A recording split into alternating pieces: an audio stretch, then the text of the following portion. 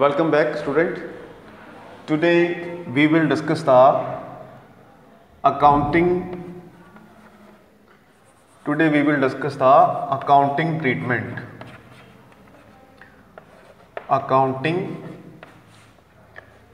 treatment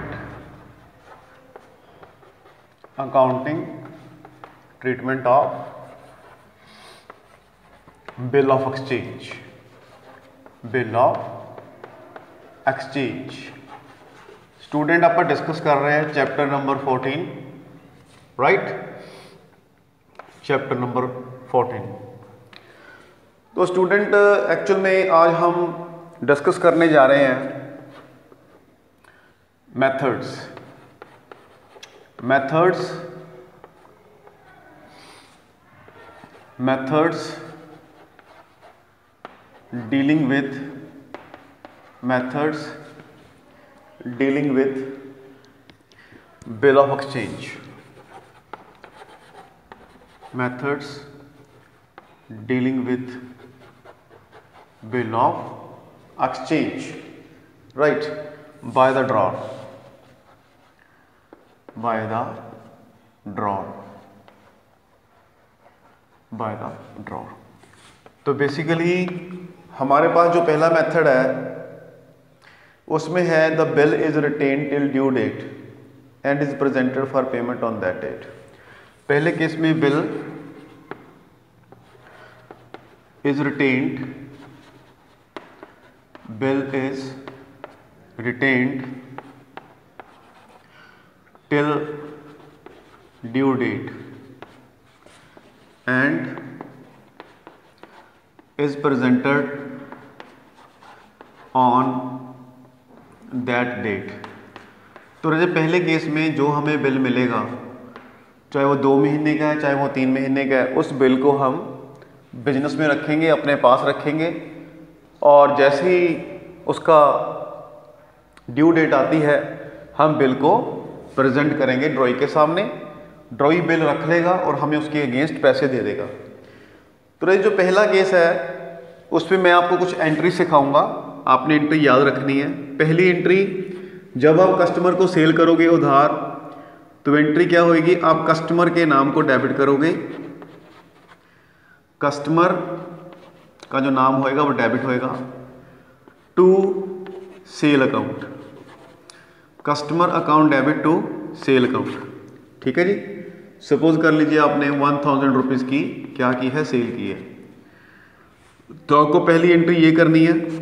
second entry अब आप customer से क्या लोगे एक रिटर्न डॉक्यूमेंट लोगे उसको बोलेंगे अपना bill receivable bill receivable customer इसके इस डॉक्यूमेंट के ऊपर आपको लिख के देगा कि वो आपको दो या तीन महीने के बाद पैसे देगा। तो आपके पास डॉक्यूमेंट आ गया बिल रिसीवेबल डेबिट करोगे। टू जस्ट कस्टमर से आपने ये डॉक्यूमेंट लिया है। कस्टमर का नाम आप करोगे क्रेडिट ठीक है जी?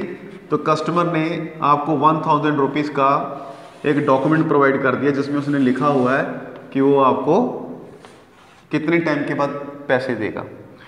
अगर जी ये डॉक्यूमेंट मान लिया जाए कि दो महीने का है तो दो महीने के बाद ड्यू डेट पे आप ये बिल रिसीवेबल उसे वापस कर दोगे और वो बंदा आपको पेमेंट कर देगा। अगर आपके पास कैश आ रहा है तो आप कैश डेबिट करोगे। अगर चेक आ रहा है तो चेक डेबिट करोगे। और ये जो आपका डॉक्यूमेंट है बिल रिसीवेबल वाला, ये राजे आपने क्या करना है? कस्टमर को वापस कर देना है। तो जो पहला मेथड है, उसके अंदर ये तीन तरह की एंट्रीज़ हैं। उम्मीद है कि ये एंट्रीज़ आपको समझ में आ रही होंगी। ठीक है जी? तो आपको ये तीन एंट्रियाँ सीखनी है। ठीक है जी? अंडरस्टैंड तो अब राजे मैं बात करूँगा सेकंड मेथड की।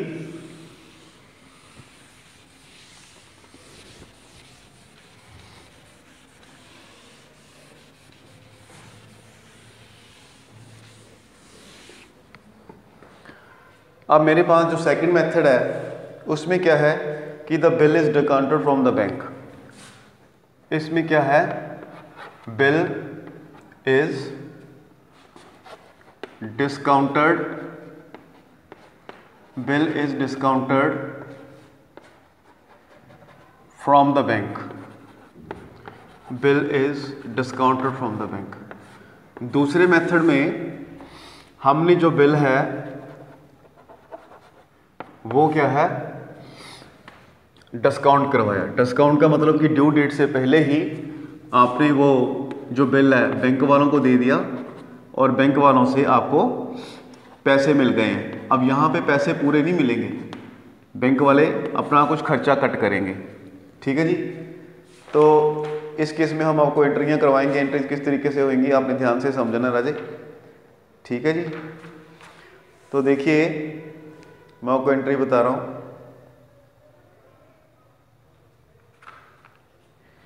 जब आप बिल रिसीव करोगे तो आपकी एंट्री क्या होगी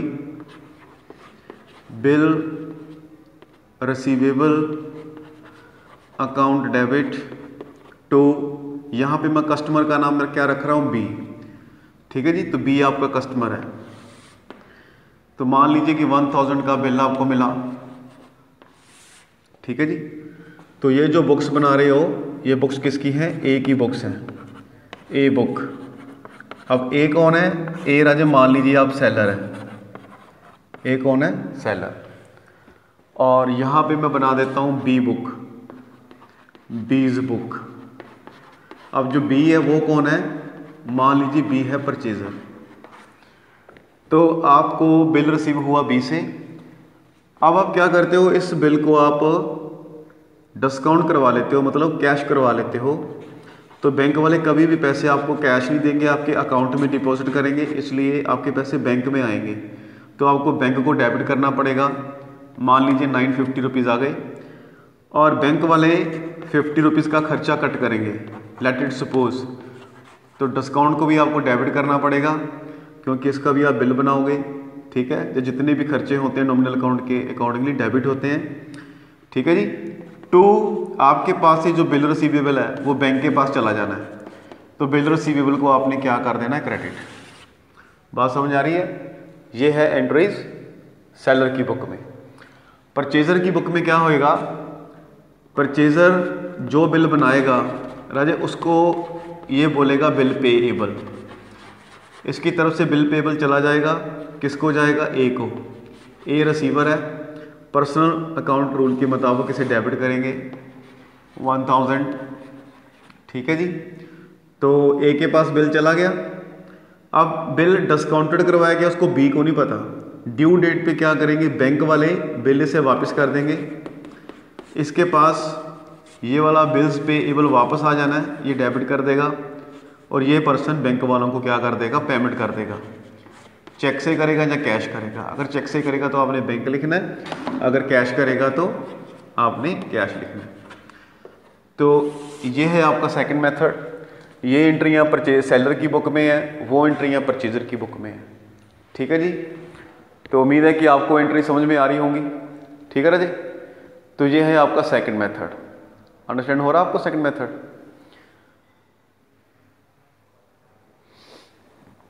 हाँ जी सेकंड मेथड आपको क्लियर हो रहा है? अब राजे इसके बाद हम चलेंगे थर्ड मेथड के ऊपर।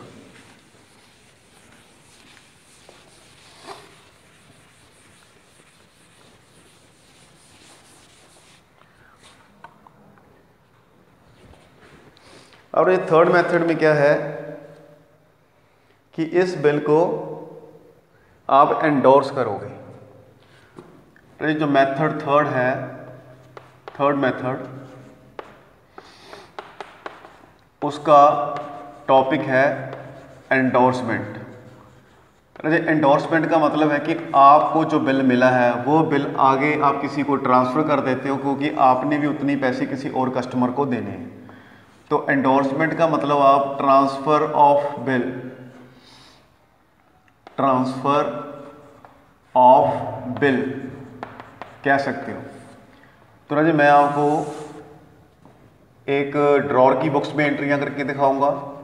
ड्रॉर कह लो या कह लो ये सेलर है। ड्रॉर या सेलर की बुक में एंट्रीज होंगी। और दूसरी तरफ़ मैं आपको एंट्रीज करके दिखाऊँगा। ड्रॉइंग या परचेजर की बुक में। परचेजर बुक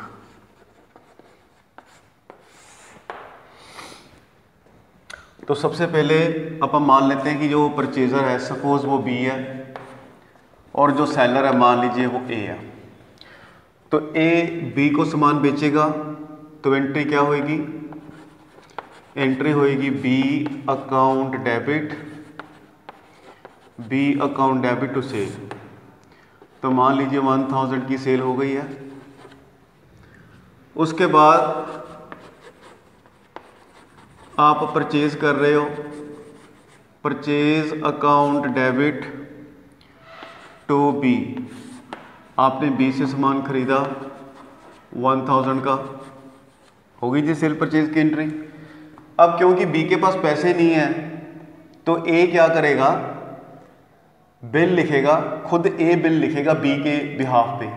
और बी से क्या करवाएगा साइन? तो बी की तरफ़ से वो बिल चला जाएगा।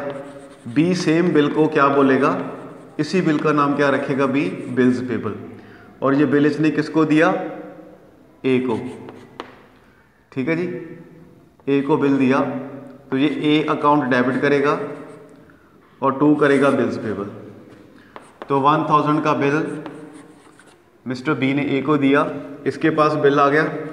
ये उसी बिल को क्या बोलेगा? Bill receivable bill receivable account debit one thousand किससे आया? पार्टी का नाम क्या है? Mister B. मिस्टर बी से आया वन थाउज़ेंड का बिल। अब क्या है कि ये जो बिल आया है मिस्टर ए के पास, मिस्टर ए ने उतने पैसे सी को देने हैं। तो ये वाला बी आर सी को ट्रांसफ़र कर देगा। जो बी आर डेबिट करके रखा हुआ आपने, वो आप किसको ट्रांसफ़र कर दो? सी को। आपने सी को डेबिट कर देना है। क्योंकि वो रिसीवर है और बी आर को क्या कर देना है क्रेडिट अब ये बिल किसके पास चला गया? सी के पास चला गया। और ड्यू डेट पे सी क्या करेगा? इसको ये बिल्स पेबल वापस कर देगा। तो इसके पास बिल्स पेबल क्या आ जाना है? वापस आ जाना है ड्यू डेट पे। और ये बंदा सी को क्या कर देगा? पेमेंट अगर कैश दे रहा है तो कैश अगर चेक से दिया जाता है तो बैंक इस तरीके से ये पेमेंट कर देगा इसको। बात समझ आ रही है आपको? हाँ जी क्वेश्चन समझ आ रहा है आपको सारा? अब राजे, अगर मैं बात करूँ सी की सीज बुक तो सी के पास दो ही एंट्रियाँ होंगी कि किसके पास? बिल आ गया। Bill receivable account debit one thousand किससे आया? टू ए से वन थाउज़ेंड और ड्यू डेट पे ये क्या करेगा? इसको कैश मिल जाएगा। कैश अकाउंट डेबिट और इसने आर क्या कर देना है? वापस कर देना किसको वापस कर देना है? ए को। ठीक है जी? इस तरीके से ये जो बंदा है, ये एंट्रियाँ करेगा।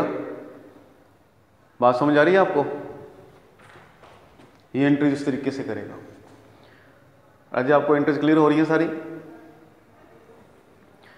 हाँ जी राजे, आप एंट्रीज देखिए। एंट्रीज आपको क्लियर हो रही हैं?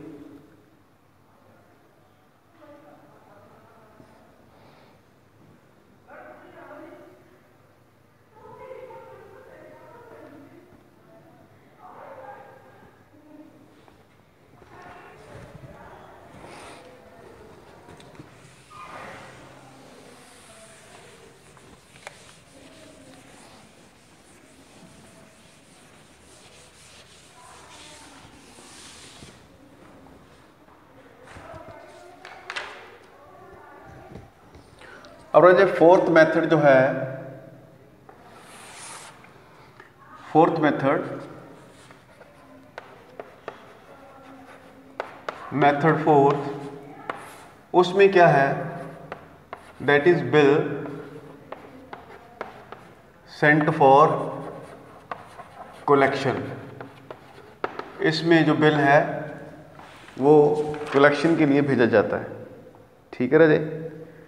तो इसकी भी एंट्री आपको मैं करके दिखा रहा हूँ कि किस तरीके से बिल कलेक्शन के लिए भेजा जाता है। ठीक है? आपने बात ध्यान से समझनी है। फिर आगे चलेंगे आप। मान लीजिए ये है सेलर की बुक सेलर्स बुक और इधर है आपकी परचेजर बुक परचेजर्स बुक और परचेजर मिस्टर बी है। और सेलर जो है, वो मिस्टर ए है। तो सेलर के पास पहले बिल आया। आप एंट्री क्या करोगे? Bills receivable account debit suppose one thousand rupees तो किससे आया? मिस्टर बी से। वन थाउज़ेंड रुपीज़ इसी तरह परचेज़र अपनी बुक में एंट्री करेगा। Mister A account debit to bills payable account. Bills payable account कितना? One thousand rupees one thousand rupees की वो एंट्री करेगा। वन थाउज़ेंड रुपीज़ की। अब ये जो बिल आया है, इसको राजे बैंक में भेजा जाएगा कलेक्शन के लिए। तो आप एंट्री क्या करेंगे? आप एंट्री करेंगे bill sent for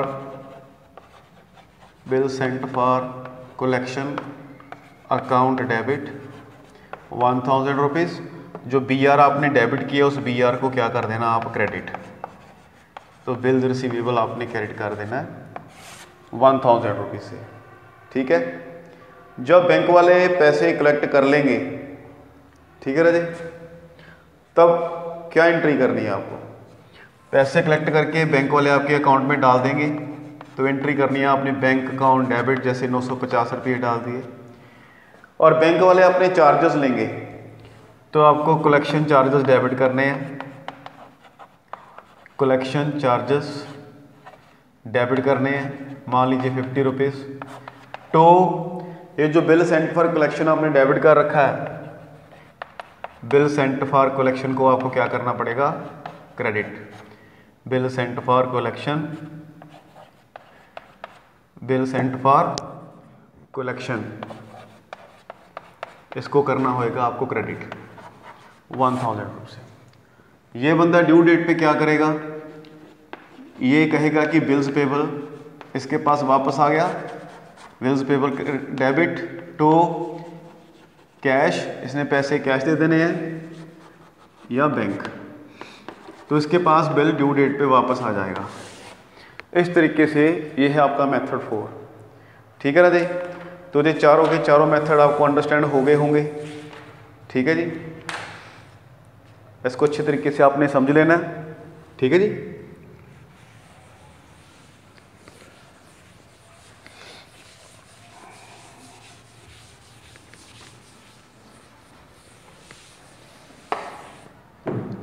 आज आप डिस्कस करने जा रहे हैं example number two example number two में क्या है कि Manish Kumar sold goods to Kumar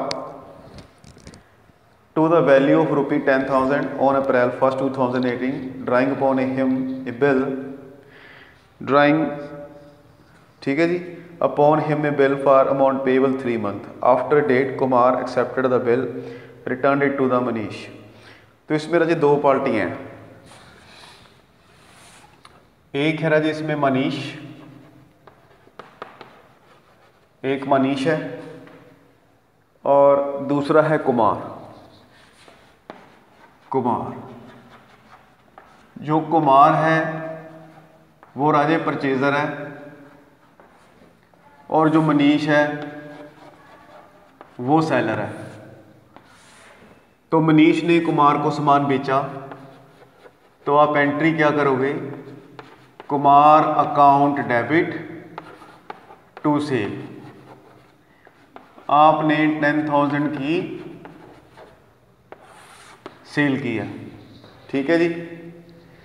और कुमार ने परचेज किया कुमार एंट्री क्या करेगा? Purchase account debit to Manish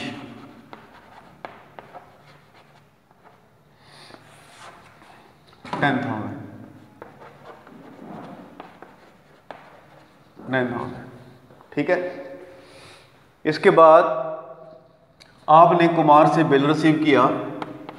entry होगी bill receivable account debit to Kumar, आपने टेन थाउज़ेंड की रिसीव की। इसके बाद आपने इस तरफ़ देखें तो कुमार ने क्या किया? कुमार ने मनीष को बिल दिया। मनीष रिसीवर है डेबिट और आपकी तरफ़ से क्या गया? बिल्स पेबल तो टेन थाउज़ेंड रुपीज़ का बिल्स पेबल आपने मनीष को दे दिया। अब इस क्वेश्चन में लिखा हुआ है कि ड्यू डेट पे मनीष ने बिल प्रेजेंट किया और बिल की पेमेंट आपको मिल गई। तो ठीक, क्योंकि इसमें लिखा हुआ है कि ये बिल जो है तीन महीने का, तीन महीने बाद मनीष वो बिल किसको दिखाएगा? कुमार को। कुमार के पास बिल वापस आ जाएगा। इसने बिल्स पेबल को क्या कर देना? डेबिट कर देना। तो इसने कैश किसको पे कर देना? मनीष को। तो बिल इसके पास वापस आ गया, कैश इसके पास चला गया। अगर अपन मनीष की बात करें तो मनीष को ड्यू डेट पे कैश मिल गया, ये कैश को डेबिट करेगा और इसका बी आर इसने किसको वापस कर दिया? कुमार को। इसकी तरफ़ से डॉक्यूमेंट बी आर का चला गया और कैश आ गया। तो जी ये है एंट्रीज स्टेशन नंबर टू की। ठीक है राजे? तो स्टेशन टू और स्टेशन वन दोनों की आपने फॉलोअप भी करनी है। ठीक है जी? फॉलोअप भी आपने ही करनी है। ठीक है जी? तो क्वेश्चन को अच्छे तरीके से देख लें। अगर किसी तरह की कोई आपको दिक्कत आए, ठीक है राजे तो आप ऑनलाइन क्लास में डिस्कस कर सकते हैं। अच्छी तरह से क्वेश्चन को देख लें। मैं क्वेश्चन फिर रिपीट कर देता हूँ। राजे मनीष सेलर है, कुमार परचेजर है। मनीष ने पहले सेल की तो Kumar account debit ten thousand to sale उसी तरफ़ कुमार ने परचेज की है तो वो परचेज अकाउंट डेबिट करेगा, टू मनीष टेन थाउज़ेंड। उसके बाद मनीष को बिल रिसीव हुआ B R account debit ten thousand, to Kumar ten thousand. Kumar ने बिल दिया है, इसलिए वो बिल्स पेबल क्रेडिट करेगा और मनीष को डेबिट करेगा, मनीष रिसीवर है। ड्यू डेट पे मनीष ने वो बिल कुमार को दिखाया, कुमार के पास बिल्स पेबल वापस आ गया और कुमार ने टू कैश पेमेंट कर दिया अगर आप मनीष की बात करोगे लास्ट एंट्री की तो मनीष के पास कैश आ गया कैश का डेबिट और बिल्स रिसीवेबल क्रेडिट उम्मीद है कि जी आपको वीडियो पसंद आई होगी. एग्ज़ाम्पल नंबर टू और उसकी फॉलोअप करें. अगर कोई डाउट है तो ऑनलाइन क्लास में डिस्कस करेंगे. फिर मिलेंगे. Thank you